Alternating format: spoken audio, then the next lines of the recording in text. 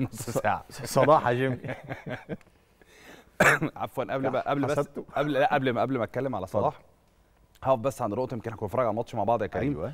آه، فيما يخص طريقة اللعب. آه. لا هو إحنا ما قلبناش 3 4 3 النهارده. اتقلبت 3 دقائق. 3 دقائق إنه كان ال- ال- ال back left التا- محمد حمدي بيقف شوية ما بيعملش عملية الزيادة في وقت من الأوقات. لكن إحنا طول الم- طول المباراة طول المباراة بالكامل 87 و85 دقيقة من الوقت كامل ما قلبناش الطريقة. إحنا. لعبنا أربعة في الخط الخلفي. حلو.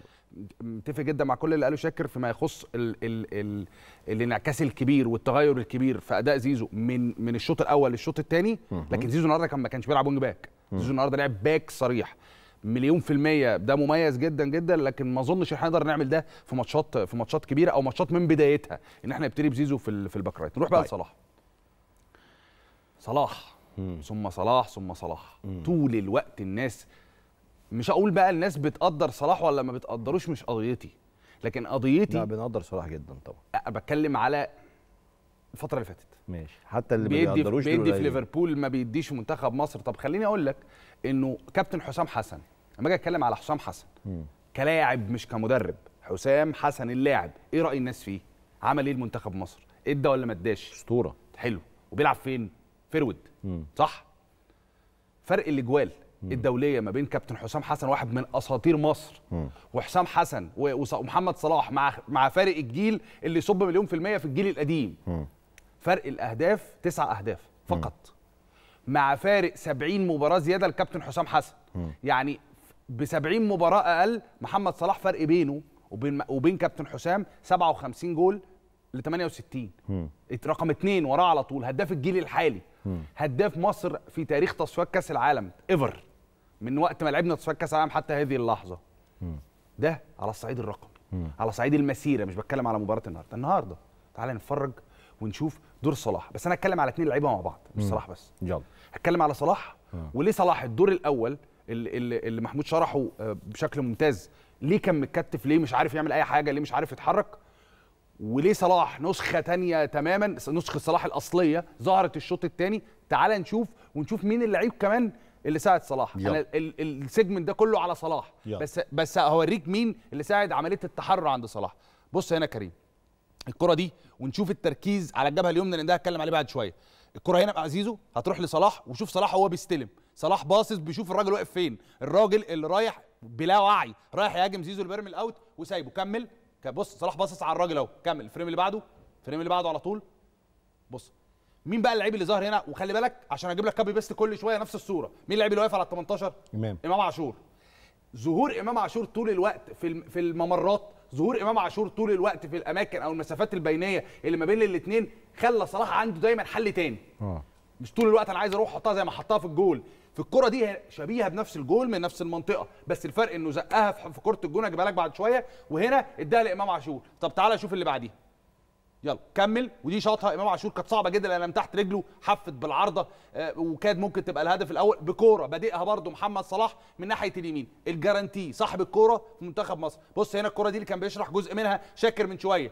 هتلاقي هنا إمام عاشور دور إمام عاشور في استلام الكورة إنه يغير الكورة الناحية الثانية عشان تروح لزيزو. يحطها. صلاح فين؟ صلاح برضه واقف في الممر اللي عملية الخلخلة وعملية وجود لاعبين في المسافات دايما. اللي ما كانتش موجودة في الشوط الأول حررت محمد صلاح وخلته في مكان أقرب للجول. لأن كانت مشكلتنا في وقت الحيازة والكرة معانا صلاح مش عارف يستلم وهو مرتاح. بص هنا اتنين لعيبة قاطعين جوه ال 18 من وراهم محمد صلاح في مكانه الطبيعي. بص بقى في آخر الصورة فوق قلت لك بالك كابي بيست على خط ال 18 برضو إمام عاشور فاتح إيده عشان صلاح لو لقاها مقفولة وحطها بالعرض يسجلها. الكرة اللي بعديها ماشي ال frame اللي بعده سددها طبعا صلاح. دي كرة مروان باص لإمام هترجع لمروان تاني كمل ال frame اللي بعده. هترجع الامام بوش رجله الخارجي. هيودي صلاح انفراد برده منين؟ من نفس المنطقة من ناحية اليمين. هيروح صلاح كمل frame كمان. كمان. بص هنا دخول صلاح جوه ال 18 بص مين اللعيب اللي على خط ال 18 يا, كريم؟ إمام. copy paste نفس الكورة. صلاح بيخش في ال penetration في الممر رقم أربعة اللي ما بين الظهير وال back قلب الدفاع والظهير الطرف. يخش inside ويشوف الحل. بقى عنده حلول. عنده حل ممكن يلعبها بالعرض عنده حل عنده حل انه ممكن يسجل. لكن الهدف نفسه في تفصيلة مهمة جدا جدا جدا. تقل محمد صلاح 90% من الجول. أي لعيب ارجع معلش ال frame اللي قبله. أي لعيب أشول هيخش جوه لا frame كمان. أيوه frame كمان. أي لعيب يخش جوه ال 18 frame كمان. أي لعيب يخش جوه ال 18 frame يعمل إيه. بس كده بس كده. أي لعيب يخش جوه ال 18 يعمل إيه يا كريم؟ أول ما اتفتح له النص متر اللي بين الاثنين اللعيبه الأولانيين دول هيروح شايط. لو عادي وصلاح ممكن يعملها كده ويجيبها جول عادي برضه. هو بقى عشان يضمنها عمل إيه؟ راح واقف عليها واحدة. مشي ووقف عليها الثانية لحد بلغة الكرة كده حكمها تحت رجله.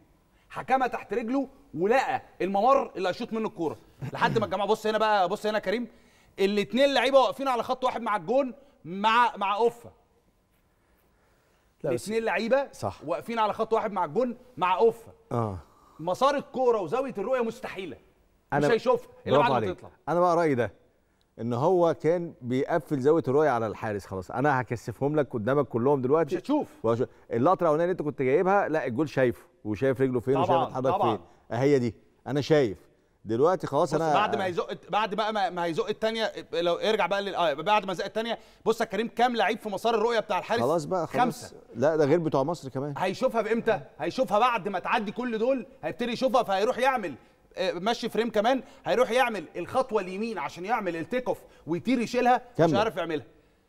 قبل ما تروح لل... قبل ما تروح ال frame ده بص بص يا كريم دي آخر بقى كرة الجول وهجيب لك واحدة بعديها تاني. دي آخر لقطة. كرة الجول كرة الجول. بص إمام في واقف فين. copy paste أنا جبت لك ثلاث لقطات إمام واقف في نفس الحتة صلاح بيخش من نفس الحتة. فوجود إمام في المنطقة دي إدى لصلاح حلول كتير خليته طول الوقت قادر يشتغل. تفصيلات مهمة جدا في الجول باين لك إن ده محمد صلاح. هو ده الطبيعي بتاع محمد صلاح. الناس شافت الجون ده كام مرة؟ 100 مرة مع محمد صلاح فبالنسبة لي ما كانش مفاجئ إن محمد صلاح سجل النهارده. عظمة. أشكرك.